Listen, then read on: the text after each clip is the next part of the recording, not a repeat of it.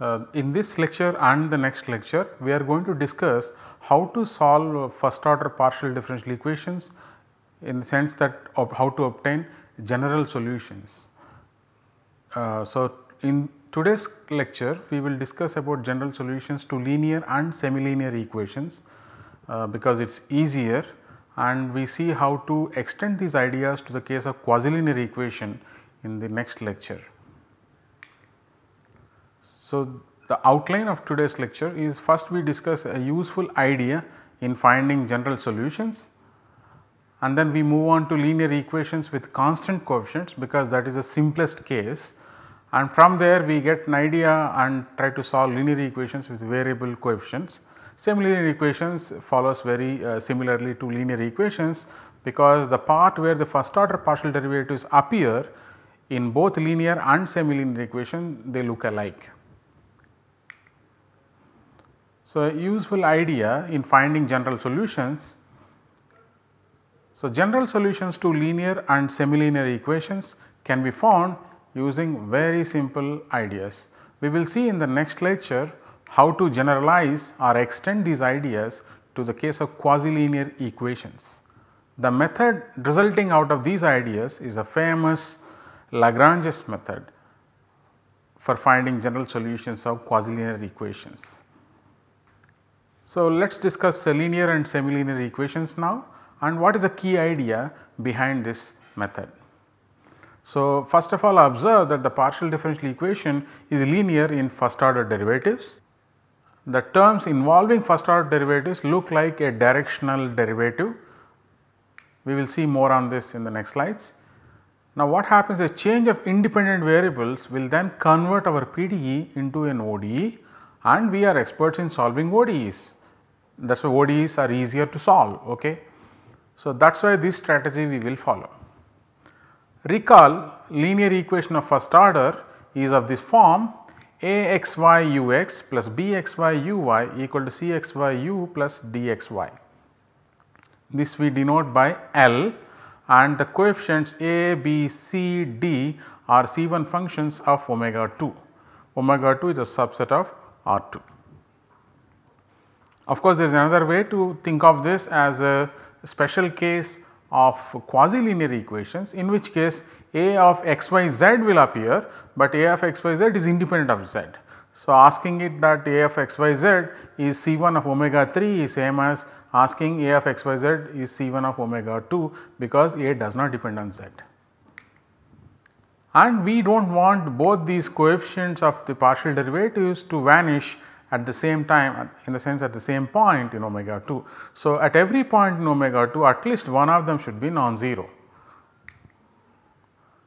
And then semilinear equation of first order looks like this ax ux plus bx uy the left hand side is exactly same as that of L whereas the right hand side c of x by u that is the semilinear equation and the assumptions natural are a b are C1 of omega 2 and C is C1 of omega 3.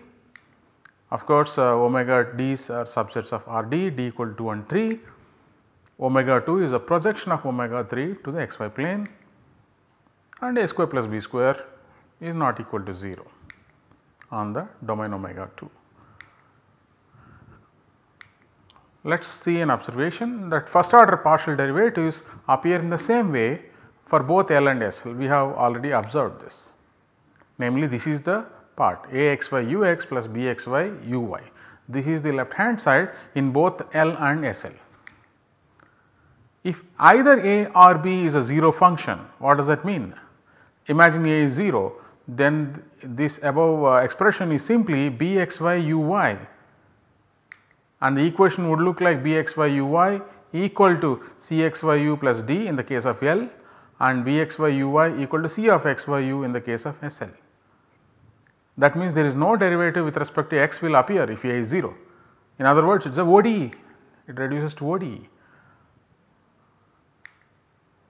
Therefore, solving L and SL in such a case is same as solving ODEs, it is no different from solving ODEs.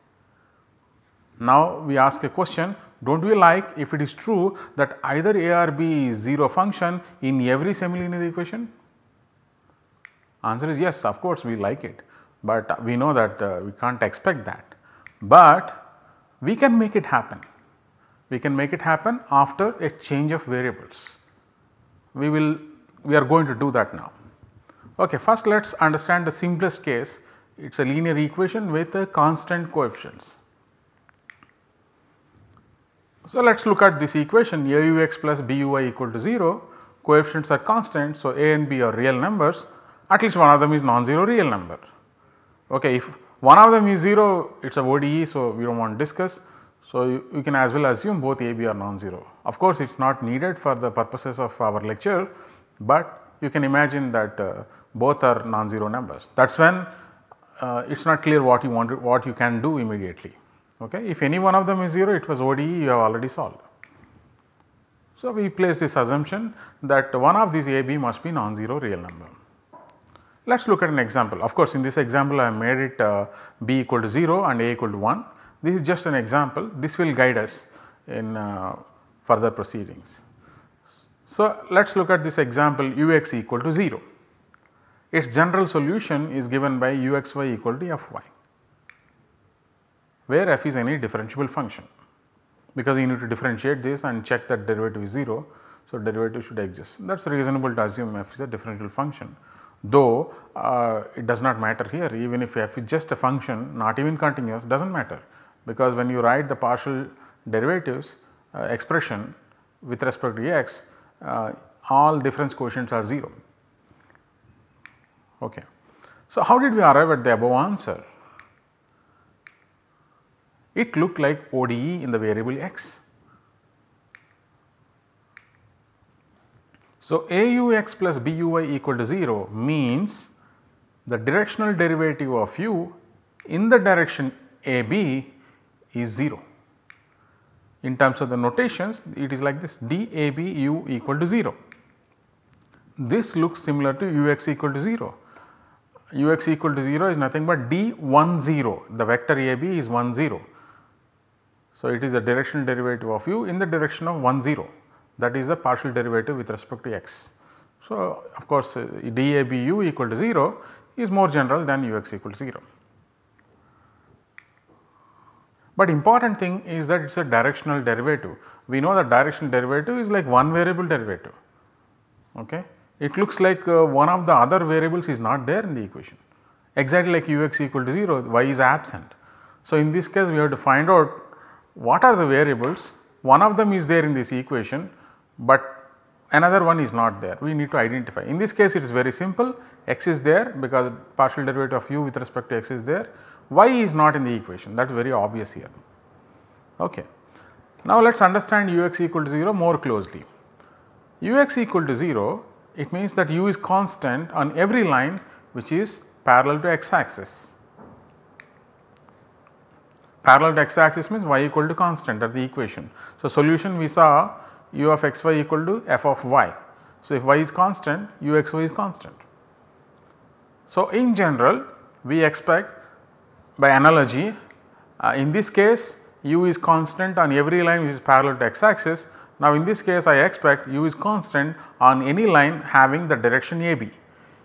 In the case of ux the direction is 1 0 right parallel to x axis has the direction 1 0. So, therefore, I expect from this experience that solutions of DABU equal to 0 are constant on any line having the direction AB. We are going to prove this. So, in the next slide we compare these two equations side by side. First let us look at uh, ux equal to 0 and AB we need to make some special numbers. So, AB we take 1 1. Okay. So, now AUX equal to 0 solution is Fy. So, whenever y equal to 1 that is a line parallel to x axis it has a direction 1 0 and u is f of 1 u is constant. Now, if you take any other line parallel to x axis that means any line having the direction 1 0 will look like y equal to k for some k and u on that is f of k. So, it is constant on each line parallel to x axis. Now, in this case ux plus uy equal to 0 this is having the direction 1 1 1 1 is this direction. the line y equal to x has the direction 1 1. So, u should be constant along each of these lines parallel to the line y equal to x. Any line parallel to y equal to x looks like y minus x equal to k for some k and u is equal to f of y minus x. You can check by substituting in this equation that this u is indeed a solution to this equation. So, we have obtained a general solution in the case of AUX plus BUY equal to 0. So, we need to find what that is. We got from AB equal to 1 1. If it is general AB, what will this be? We will see that formula. Okay, now how do I extend these ideas to linear equations but with variable coefficients? How will we do that? So, what to do? That is the first question. So, notice that for every point in omega 2, this axy ux plus bxy uy is also a directional derivative of u at the point xy. But the catch is that the direction depends on the point xy. It is not constant a comma b as in the constant coefficients case. Here the direction is axy comma bxy. It varies from point to point. Okay, this is the difference. Otherwise, it is also directional derivative. Now, can we generalize from constant coefficients case and say that u is constant along each line having this direction? We would like to say that. Of course, what it means that a line having this direction uh, is questionable because this changes from point to point, right. In the constant coefficients case it was just a comma b, it never depended on x y, but now it depends. That is why I put in quotes. Can we expect such a result? Okay, having this direction means this is a slope y coordinate by x coordinate b by a that is the slope of the line. What line x y is varying b, b by a will vary from point to point. So, as the direction depends on the point answer to the above question is as the direction depends on the point x y in omega 2 we can't talk of lines. But an infinitesimal version of lines works. What is that? We are going to present that soon. It means that we need to consider curves with slopes b by a. We cannot say lines all the time. Okay. Consider curves now. Lines are also after all curves having a constant slope that is why they are lines. But here we have to admit now more general things than lines. So, we admit curves with slopes b by a that is okay. Of course, one condition is that we have a in the denominator. So, we must assume that a is not 0 in the domain. Well, let us assume that we will assume that and we will also show that uh, does not make much difference if you have not assumed that a is not equal to 0 throughout. It is enough at a point that a is non-zero. We know that every point x naught y naught in omega 2 one of them is non-zero a or b right. So, we assume that a is non-zero and we can do the things if a is 0 we will work with b. So, that can be done. Okay. So, this means what curves with these slopes means you have to look at solutions of this ODE. This is the slope of the curve at a point xy and that I am saying should be b by a. So, if b and a were constants the solutions are straight lines. So, now these are curves. So, dy by dx equal to bxy by axy. Okay. So, we have uh, got hold of analogous things to straight lines which are curves with slopes b by a. Okay, so, we assume that a is not equal to 0 on omega 2. We will come back to this discussion after we finish uh, doing this analysis okay, where we say that uh, does not matter you, you do not have to assume that it is non-zero throughout omega 2 because of certain things which will come into the analysis soon. Okay there is nothing that you gain by assuming that A is not 0 and throughout omega 2, we will come back to that. So, let zeta be a solution to this okay, defined on some interval j in x. Okay. Whenever this is a solution one observation is that u is constant along this curve x comma zeta of x. x comma zeta of x as x varies describes a curve and u of x comma zeta of x is constant whenever zeta is a solution to uh, this ODE. We can verify that. So, d by dx of u of x zeta x we want to compute this. Now, x dependence is there in both the coordinates here as well as here both the components. So, first you have to differentiate u with respect to x and derivative of x with respect to x is 1. Then differentiate u with respect to y and differentiate zeta of x with respect to x that is what the chain rule says. Okay. So, that will give us a zeta dash of x d zeta by dx through this dependence we get this. So, as I told you chain rule will keep coming uh, definitely throughout this lecture and the next one, but chain, chain rule if you remove then I think you can't do PDE. So, we can we may also say that this is one of the most fundamental results in differential calculus. It does not look like a big result to us, but it plays a role everywhere. Okay.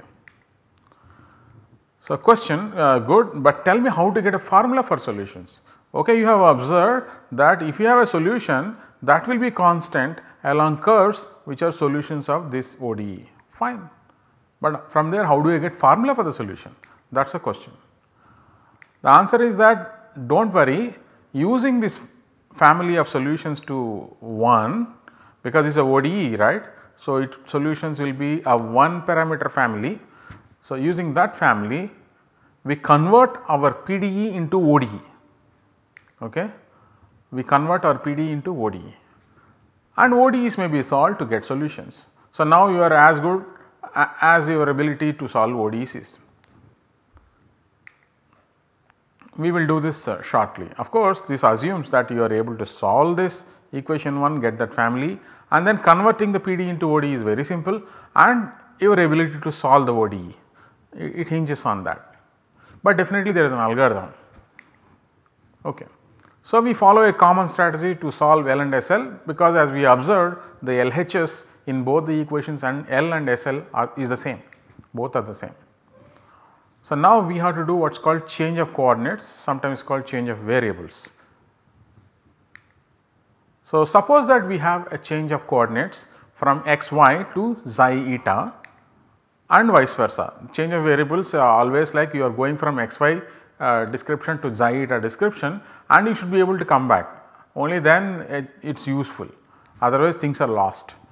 Okay. So, change of variable always uh, both sides and vice versa given by this. So, xi equal to small phi of xy, eta equal to small c psi of xy and x equal to capital phi of xi eta, y equal to capital psi of xi eta. It is very important to write this kind of setup whenever you do change of variables so that you will not have confusion.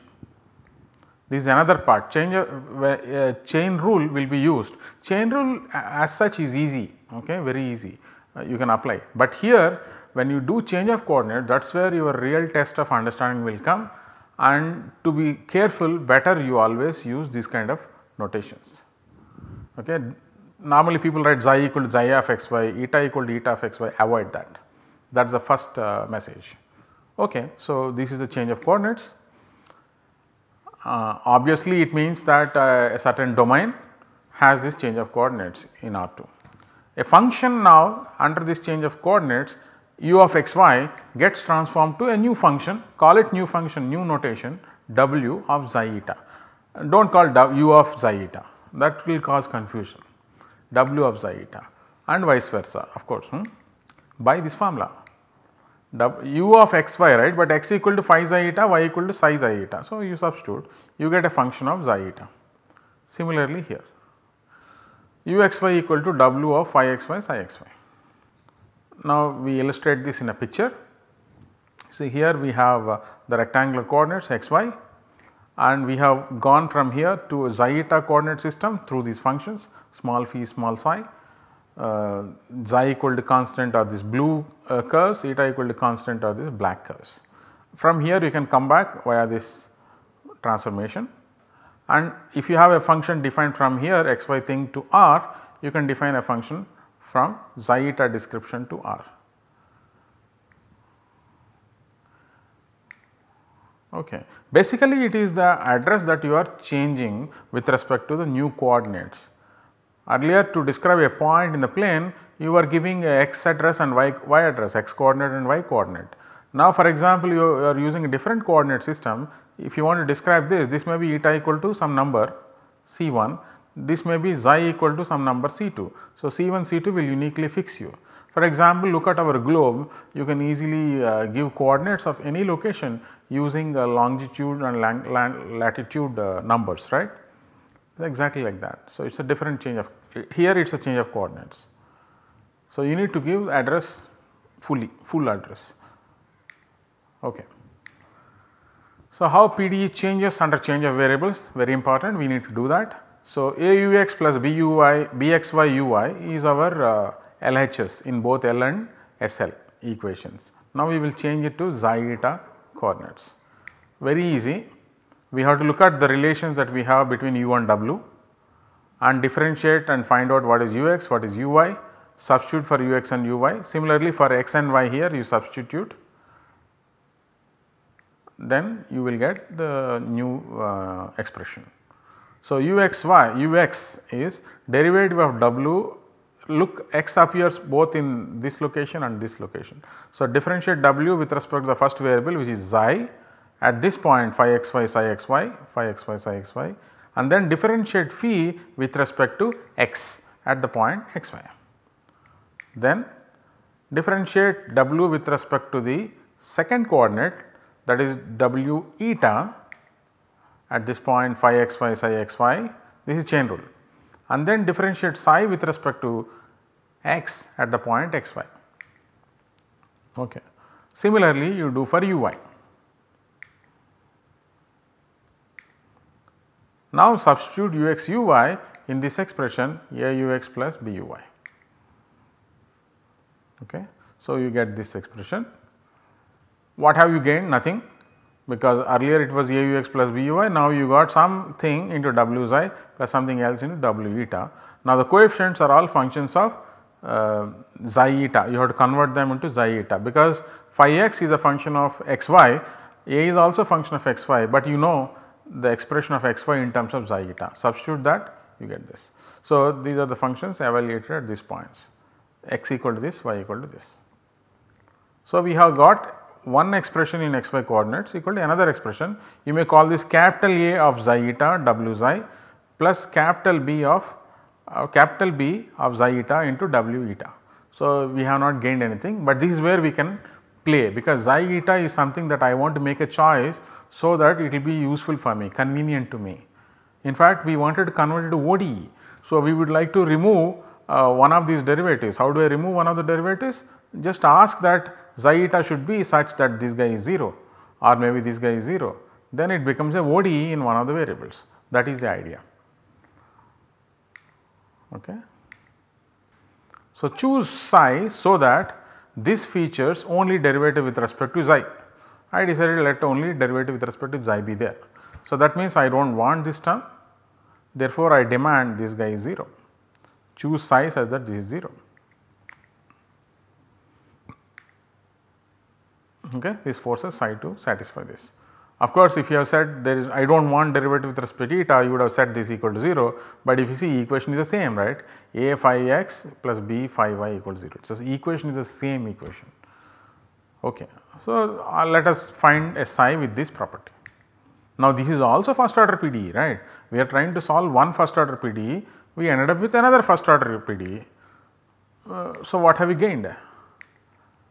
Thankfully, this equation is a homogeneous equation. So, that helps us right hand side is 0 linear homogeneous. How does that help?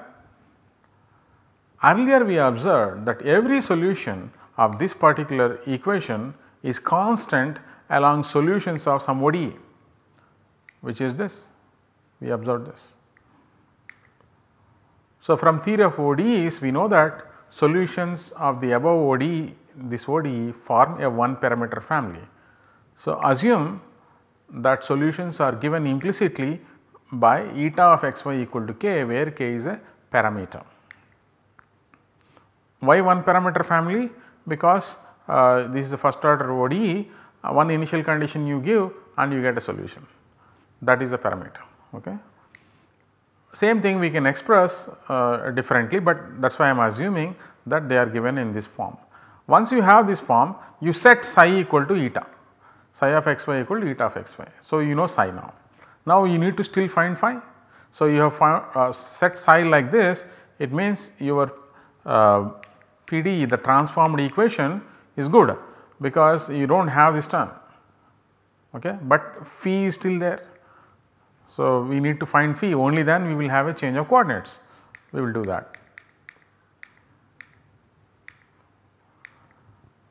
Now having chosen psi choose phi to be a C1 function such that this Jacobian is never 0, the Jacobian is never 0.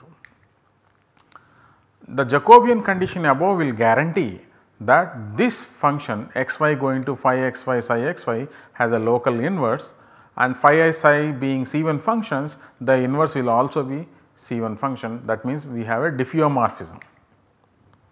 So, we have to apply what is called inverse function theorem. Therefore, this is the second most important theorem in differential calculus of multivariables inverse function theorem which is equivalent to another theorem which is called implicit function theorem. You can you can prove one from each other. So, that is why both are equivalent and you must be thorough with application of these theorems, how to apply these theorems. So, the inverse function may be expressed now that x as a function of xi eta and y as a function of uh, xi eta you can do that. But if you look at the inverse function theorem the assumption will be at some point x0 y0 Jacobian is non-zero then a neighborhood of x0 y0 you have this as a diffeomorphism. So, inverse function theorem conclusions are what are called local even if you have the Jacobian everywhere non-zero, you can't say that throughout the domain xy on which this is non-zero, this defines a inverse function, uh, diffeomorphism, you can't. That is why a local inverse is always a conclusion from the standard inverse function theorem. What is local inverse? It means each point there is an open set on which the above conclusions hold and the open set need not be omega 2 Thus, the LHS of both L and SL which is here AUX plus BUY becomes this okay, where we are just writing where these coefficients are evaluated at they are evaluated at this W xi is at xi eta. So, the right hand side is a function of xi eta. So, we can give a name to that let us call it A of xi eta as this quantity. Therefore, this LHS of L and SL becomes simply A xi eta W xi of xi eta. So, no eta de derivative here. So, it is going to become ODE. Yeah, the linear equation now becomes this. This is LHS right hand side C of xy you express as xi eta by this change of variables You use W and D also you express using the change of variables d of xy capital D of xi eta that is a relation. Now you may write it like this, it is a ODE right, it is a linear ODE.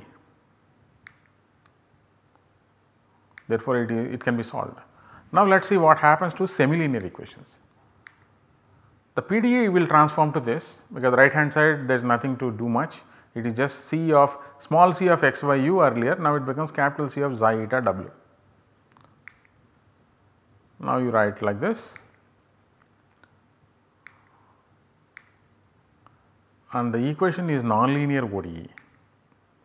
The ease of finding a solution depends heavily on the nonlinearity the capital C and capital A. But we know that it has solution as the right hand side is a locally Lipschitz function solutions are there. Once the function w is determined function u is known now we know right the correspondence between u and w. Now a small remark on our assumption that we assumed this right? A is not equal to 0 and omega 2 and one more thing we assumed on the way. After choosing psi we said choose another phi C1 function such that the Jacobian is never 0 on omega 2. However, we met inverse function on the way. That theorem even if you with go with the global uh, conditions like this, this, this one it will give you only local conclusions. There is a problem of the inverse function theorem. So, we did not gain much despite our global assumptions that tells that hey, there is no need to assume globally assume that A is non-zero at some point x naught y naught the conclusion that you get will be in a neighborhood around x naught y naught. In any case even if you assume A is not equal to 0 in omega 2 When you went to inverse function theorem, it only gave you conclusions around the point x naught y naught. So, as a consequence the change of coordinates you will find in a neighborhood of that point whichever point you have fixed here I have fixed x y. So, but there are also uh, global inverse function theorems this is just for you to uh, uh, be aware of. Global conclusions are possible from global inverse function theorem. For this I refer you to this book uh, of multivariable real analysis uh, volume 1 um, it is called differentiation.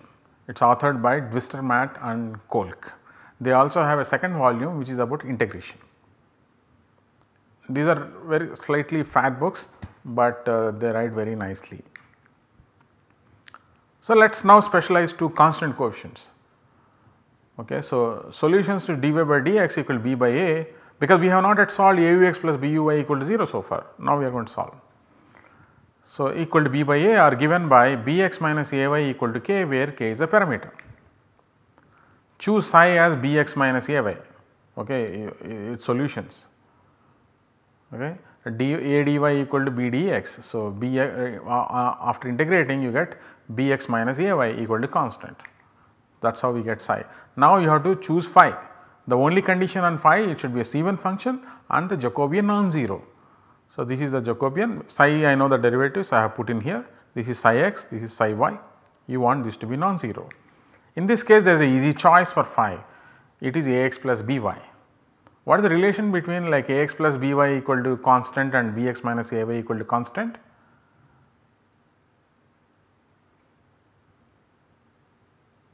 They, they are perpendicular they are like x axis and y axis right. Okay. Uh, so note that this change of coordinates x y going to ax plus by bx minus ay you may call this as xi equal to phi of x y this is eta equal to psi of x y these are global it is an invertible it is a linear transformation R2 it is invertible it is global. This is uh, linear no linear if things are invertible you, you will get uh, global but in the general situation these are nonlinear equations. Okay, special case of constant coefficients let us continue. Uh, the equation AUX plus BUY now becomes A square plus B square into WZ equal to 0. Now I need not even bother to change this into some new coordinates because this is non-zero right. You can cancel and conclude WZ equal to 0 and solution it means it is a function of eta alone right WZ equal to 0 it is a ODE see from AUX plus BUY equal to 0 we have got a ODE Wxi equal to 0 of course after change of variable. So, this implies that W is simply a function of eta. Now, what is eta? We can substitute back get the u, u of x y equal to w of uh, phi x y psi x y, but w I know is only arbitrary function of second coordinate that is f of psi of x y and what is your psi of x y? Bx minus ay.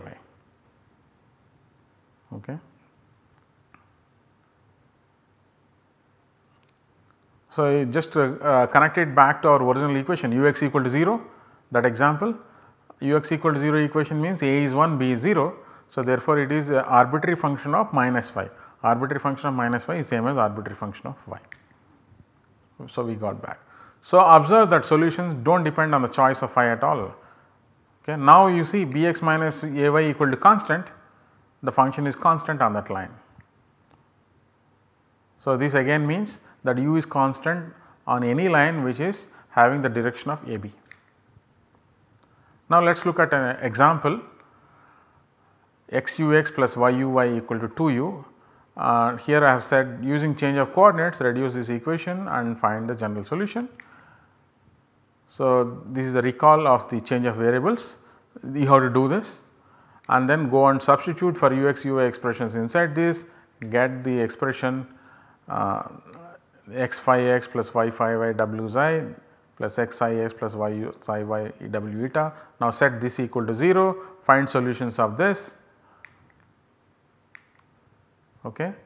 So that means dy by dx equal to y by x and solutions are given by x by y equal to constant. That is a family. Therefore psi of x y is psi x by y. Now you have to find phi. Choose phi equal to y and Jacobian condition will be satisfied. So, we have got now xi and eta. Uh, this is a function of phi of x y. Eta is a function of x y. Psi of x y is equal to x by y. And then you get the relation between x and y and xi and eta. Then the LHS becomes y w xi because we made sure that w eta coefficient is 0. So, y w xi but what is y? y is xi. So, it is xi w xi is the LHS. What is RHS? It is 2u. So, it is 2w. So, xi w xi equal to 2w. So, w xi equal to 2 by xi into w it uh, suggests that we should avoid xi equal to 0. So, solution will be this w xi eta equal to f of eta into xi square after solving this.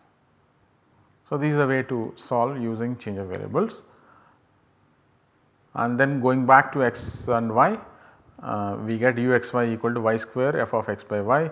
Now it is clear that uh, it is defined for all x and every y such that x by y belongs to domain of f.